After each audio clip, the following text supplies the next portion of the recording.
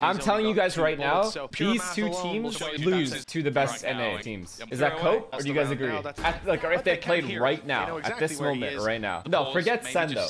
Don't put Sen into the equation. I think. Loud, NRG, wanted it to. and Lev would beat these teams based off what I'm seeing. Based off how slightly different poor order the map control is, and like the overall like play is. seen There's so many dry gunfights that I'm watching in these games that just doesn't happen. That shouldn't happen like that. Actually, true. C9 beats everybody though. Don't count C9. Well Don't count Vitality, Sentinels. so Those are the two best teams in the world. back into the I'm, I'm saying would be one outside of those way teams. to do it, and with Navi, one man down. Kinda, kinda ambitious to face there. Bro, I'm seeing it all game. All these dry fights being taken. Yeah, that was the one thing when we Oh, scrimmed them, actually, Zyppan would dry to fire a ahead of it lot. He checked the close corner, his artist even expecting him, he half checks it, and because of that, he loses the fight. You aim is good though. I agree. also think the aim is good, but two that it just feels Yeah, like the map Those are the only control. kills he's had, If you compare players NA and like rough America's teams in general, it feels like teams in America do a much much better job of the spike. I of thought it was the player retaking choke Yeah, so did points or clearing them let go of early on and then holding and not throwing away lives. The lurkers especially the nade. don't die. All I've seen in this game are